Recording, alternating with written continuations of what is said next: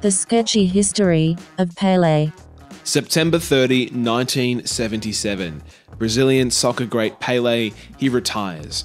Now, Pele, like, to say he was a great is pretty much an understatement, right? This guy, he played 1,363 games and he scored 1,281 goals across those games. So, you know, not quite one goal per game, but pretty pretty damn close. And you know, if you've if you, if if you've ever watched a soccer game, you know how bloody hard it is to score a goal.